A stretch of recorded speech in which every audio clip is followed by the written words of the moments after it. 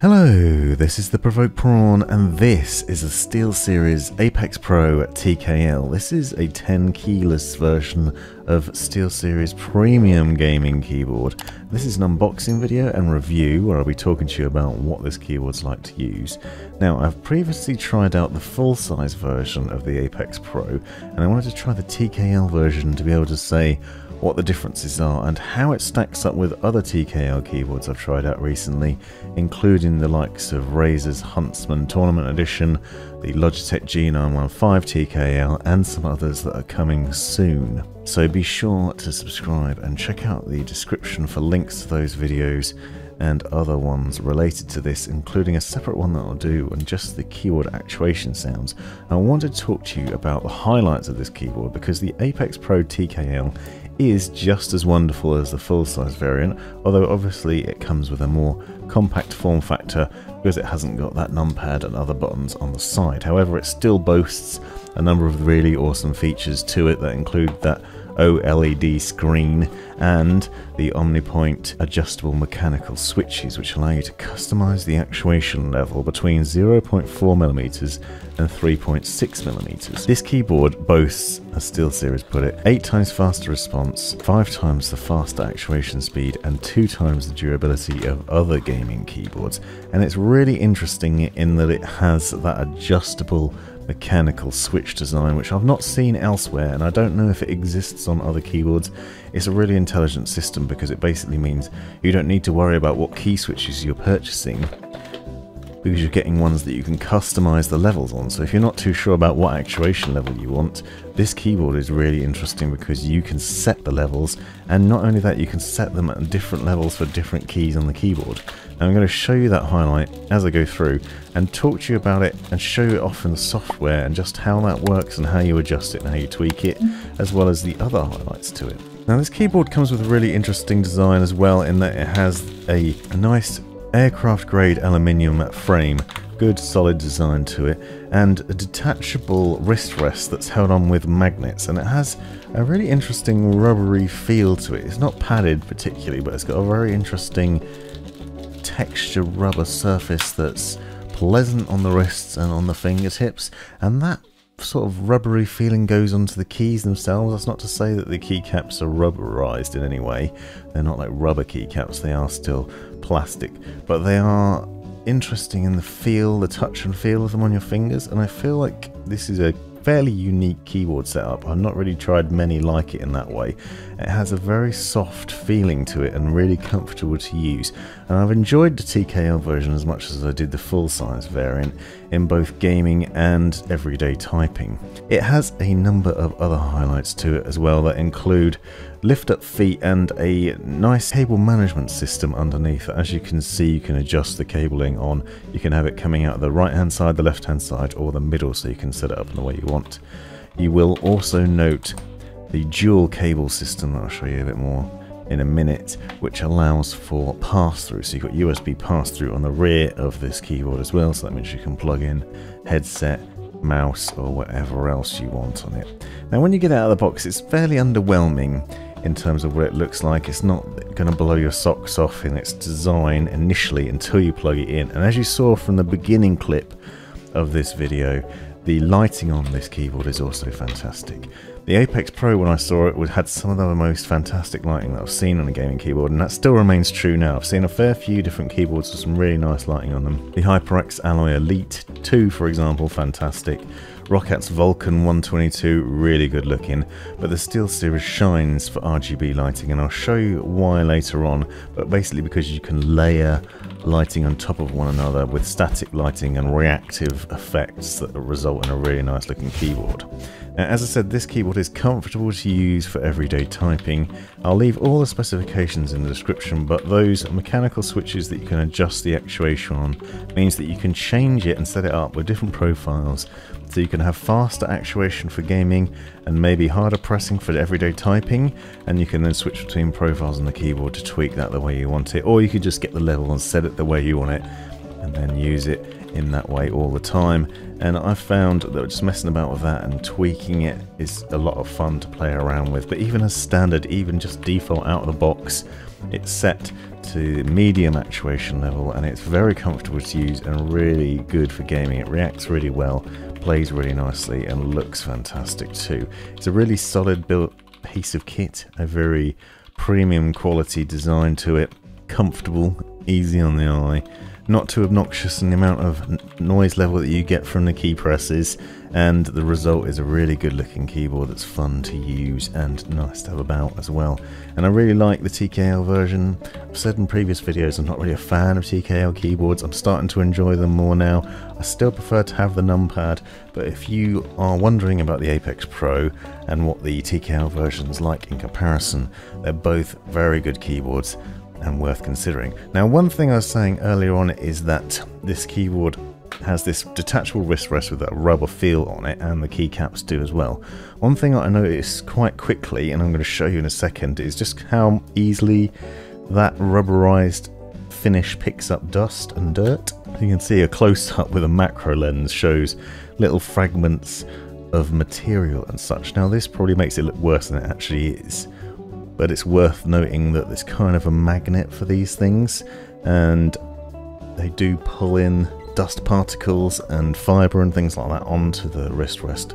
The keyboard itself doesn't seem to suffer from it as much and it still looks pretty decent now although I have found that some of the oils from my fingers end up on the keycaps which is a problem I've seen with the Logitech G915 TKL and the black variant of that as well but again it can just be cleaned and return to its former glory quite easily. As you can see, with the lighting off, as I said earlier, doesn't look all that amazing. One thing you will note though is that the keycaps are very nice in terms of the etching on them. So one of the complaints I had about Razer's variant was that the keycaps weren't very well etched, so the RGB lighting didn't shine through well, so you couldn't see what the lettering was particularly easily. Same thing I said about the G915 TKL, when the RGB lighting was off, you couldn't really see what the letters were. Not a problem with the SteelSeries Apex Pro, really well designed in that way. Now, on the rear of the keyboard, you have the USB pass-through port. You also have a volume control wheel for your multimedia, playing back music and such. Very small affair, doesn't need to be massive, and the reason it's tiny is because you'll note the little display next to that, and I'll show you that in a minute and what you can do with that. Basically, easy access to a volume wheel, and there's also a media playback button up there too. You can press, and then you can use that button to then do various things in terms of playing back the audio. So a single press, for example, will play music. I Press it again and it will pause it. If you double tap, it'll skip to the next song. If you triple tap it, it will go back to the previous track. And that's a nice little simple adjustment as well. Now, as I was saying, the keyboard itself has two USB connections. They're clearly marked and you can see one is for the keyboard and then one is to pass through. So if you plug them both in, you obviously have the ability to plug something into the rear, but you don't need to plug them both in if you're not going to use the pass-through. Once you do plug it in, you get to enjoy some really nice RGB lighting with a number of different effects available. But as standard, you can see it's got a good glow to it during the day and lets off a good amount of light at night as well. The reactions of the keys, you can see the reactive effects here in action. I'll go into these in a bit more depth in the software in a minute but essentially you can set up different layers of either reactive effects or base layers of colors then have reactive effects on top of them resulting in some nice typing experiences where you can basically have colors flowing from your fingers and they'll do it in a line or they'll do it and then fade away on the keys you've pressed and other things I've seen effects like that on other keyboards, but it's done really well with this one. And you'll see from the housing, you get a nice bit of light bleed all around the edges too, and it looks fantastic in that way. Now up close with the little display, I said in the previous video, and I'll say it again unfortunately, I feel like this display is a kind of a gimmick.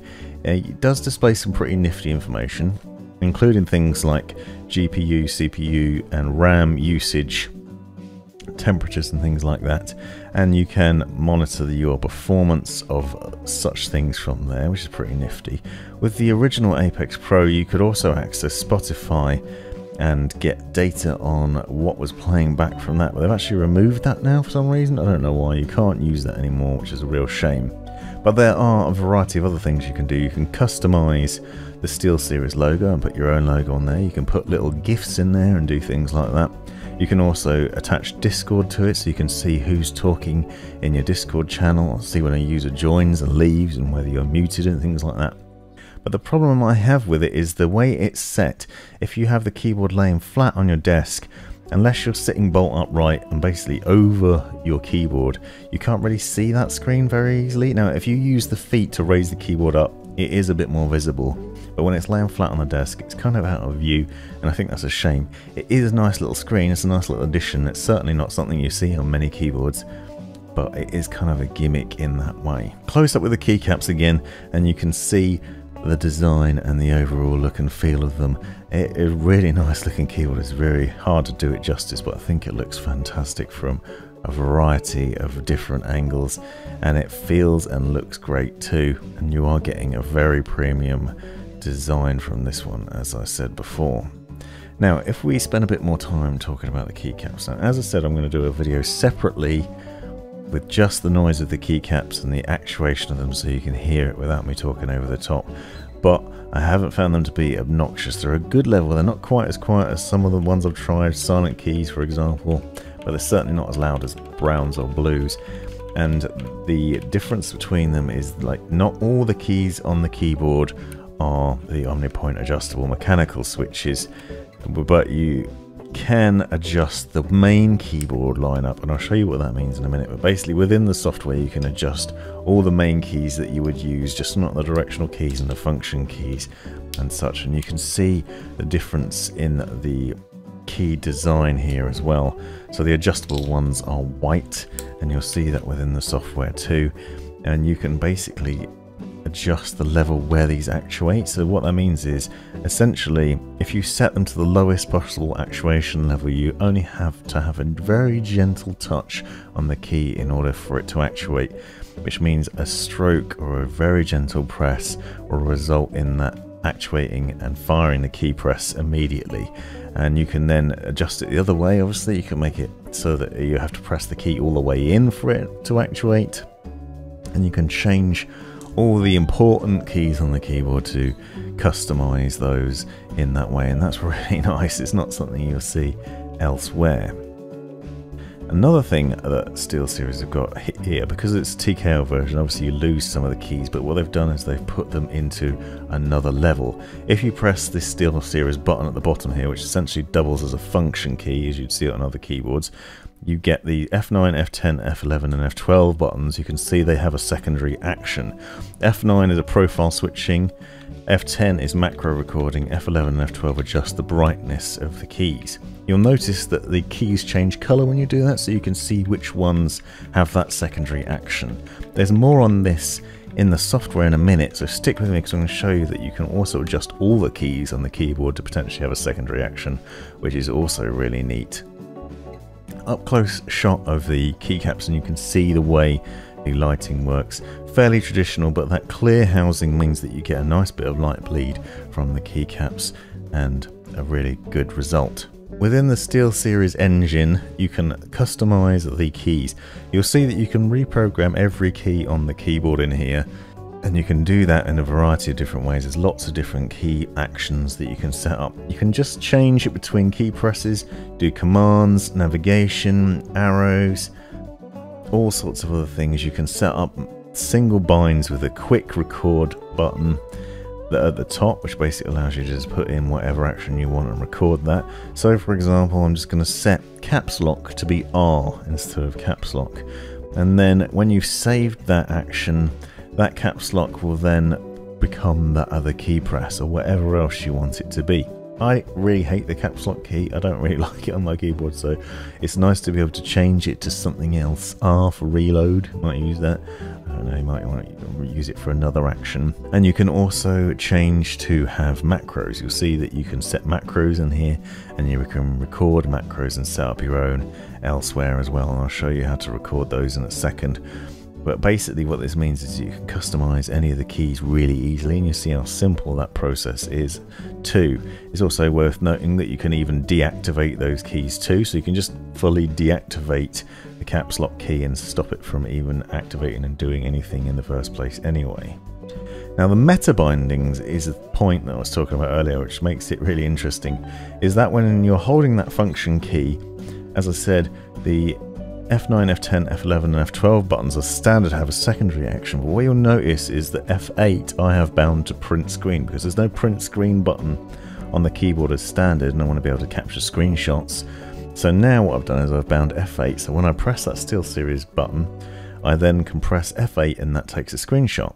You can do this with any key on the keyboard, so you can customize any key on your keyboard to have a secondary action as long as you're pressing that SteelSeries button, which means that you can basically set up for an extra layer of button presses really easily and without much hassle at all, as long as you remember what's what because there's no markings on the keys to let you know what that secondary action is, so you can't get any sort of feedback from the keyboard on what that is, but you can really easily change that, and that's fantastic because it basically means you can add loads of extra key presses in.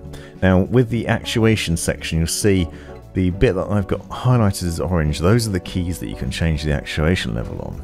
And you basically have a gauge between 1 and 10, with 1 being the shortest actuation level and 10 being the longest and then you can go in and you can pick individual keys. In my case I've got WASD here and it's set to 5 as standard which is a fairly standard press. You put it in, it just activates but if you put it all the way down to 10 you really have to press those keys in all the way down in order for them to respond to your presses. If you go the other way, completely the other way to 1, that makes it a very short press, a very light touch, and it activates almost immediately, it's basically as soon as you touch your fingers to the keyboard and this responds really quickly. Now you can do this across all those keys in the main area of the keyboard that I showed you highlighted and you can change them individually between each of them as well. So for example if I click on J you can see that's set to 5, I can put it to 10. If I click back to S again that's still on 1 so you can actually change between different keys. You might not want to do it at that level uh, or maybe you just want to keep WASD which is obviously the gaming movement low as possible and change the other ones to be higher. Now illumination is something I've already shown you earlier on with the colours and how they respond in real life but this is how you do it in the SteelSeries engine software. You can set a single base colour as your base effect and then have reactive layers on top of that. You'll note that Audio Visualizer is currently interfering with this and I'll talk to you a bit more about that in a minute. But the result is you can have either a base layer or you can have various different effects. There are a number of different effects including these funky looking ones with multiple different colors across the keyboard and ones that change color as they move their way across the board as well. And they're striking in their design. I found when I looked at the original Apex Pro that I really liked the design of the SteelSeries RGB lighting and the same is true with the Apex Pro TKL. It's a very nice looking keyboard in this way and the customization of the RGB lighting is fantastic as well. You can see that you have various different levels of it and it looks great. There are reactive ones so you can have these very nice looking bass effects and then you can layer reactive effects on top of it. This simple one for example just makes the keys that you've pressed change colour and then they just fade back to the previous colour. You can also get the entire keyboard to react so if I press it you have light shooting out from that one across all the other keys and you can see that basically changes the light of that. Could be a bit distracting if you're using it especially if you're on a Zoom call at the time and it's reflecting into that but it is really nice to be able to just tweak the lighting in a variety of ways like this and there's so many different customization options and it really shines and it looks fantastic. One of my favorite keyboards in terms of RGB lighting because of the customization and the way it reacts too. And there's even more that you can do on that. I'll show you in a second as well. But the basic effects, you'll see you have a number of different effects that you can change between in here. Includes things like electric orange, chasing ghosts, haze, vapor dreams, warp drive and more or you could just have a static standard base color and a reactive layer.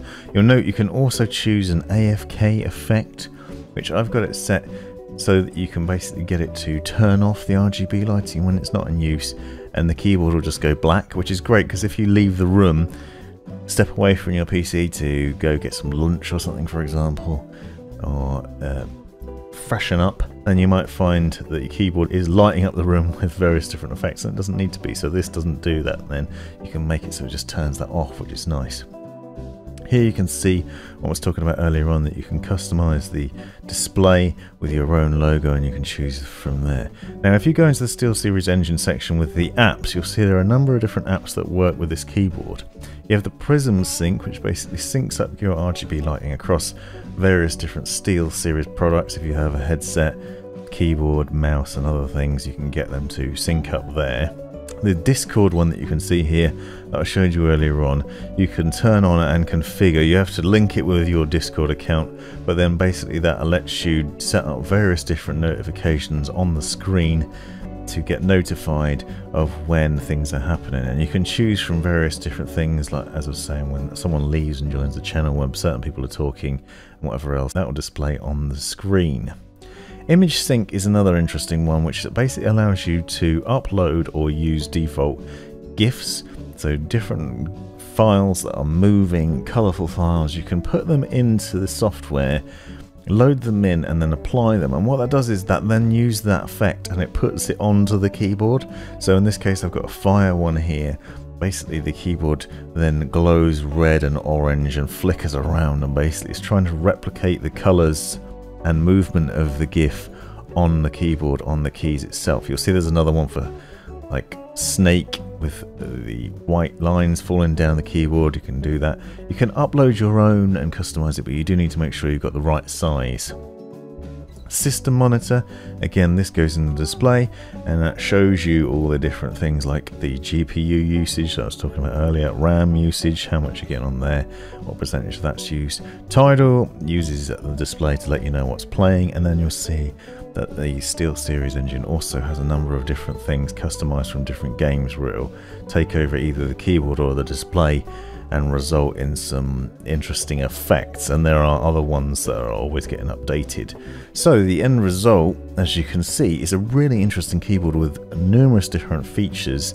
It can be really customized not only in terms of RGB lighting but in terms of key actuation, the macros and key setup that you have on it, the secondary layer of key presses, there are endless things that you can do with this keyboard. It's really nice looking, premium, comfortable to use, fantastic to customize, really great keyboard. Hope you found this video useful, let me know in the comments if you've got any questions. Thanks for watching. This has been The Provoke Prawn. Thanks for taking the time to watch this video. Hope you found it useful, interesting, hilarious, or all of the above. Be sure to check out the description for other information you might find interesting, and subscribe and watch these other videos as well that I think might be useful to you, and have a great life.